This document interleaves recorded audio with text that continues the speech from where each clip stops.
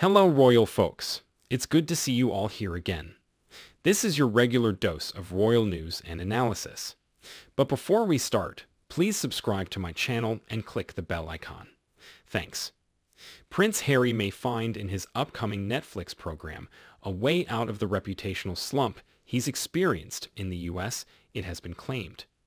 A recent poll suggested the Duke and Duchess of Sussex's popularity dipped significantly in America over the past few weeks following the revelations and claims they made against the royal family. Since the release of their Netflix docuseries titled Harry and Meghan, Prince Harry's book, Spare, and a string of bombshell interviews promoting its launch, the Duke and Duchess of Sussex have gone under the radar, leaving commentators to question what will come next in their career as humanitarian and content producers. One project announced for entertainment giant Netflix in April 2021 and yet to be released is Heart of Invictus, described in a statement by the Sussex's organization, Archewell, as a multi-episode production set to spotlight a group of extraordinary Invictus Games competitors from around the globe on their road to the Invictus Games that took place in April 2022. The Sussexes are believed to have worked on the project while the Invictus Games was taking place at The Hague, as a film crew was spotted following them on multiple occasions. However, no release date has yet been shared by Archewell and Netflix. Jack Royston, Newsweek's chief royal correspondent, reported one PR expert seeing Heart of Invictus as a possible way forward for the Duke, completely independent from the royal family drama that played out in public over the past months.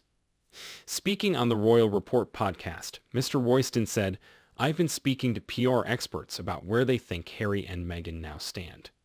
One told me, for example, that Heart of Invictus might actually be Harry's way out of the reputational slump he's experienced in America.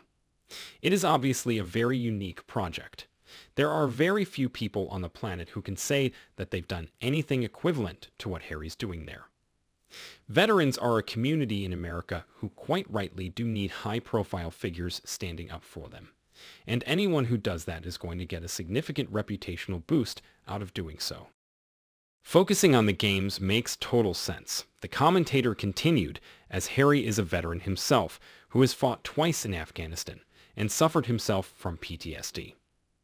He added, so that could be one way that Harry seeks to rebuild the brand. It may be he made the money out of the royally focused shows, and that he can restore the brand with some more kind of worthy, but perhaps less attention-grabbing content. The Invictus Games are a legacy-making project Harry launched in 2014, which draws together former and current ill, sick or injured members of the military around the world to compete on various disciplines, showcasing among other things the healing nature of sport. Mr. Royston also added this year, the Duke and Duchess of Sussex will likely need to choose if they are still going to speak about their life as members of the royal family and their exit from the firm, or whether they are ready to move on and just focused on new projects. If they decide to move on from sharing details about their relationship with the firm and their private lives, however, they risk generating fewer headlines and grabbing the attention of a smaller audience, the commentator added.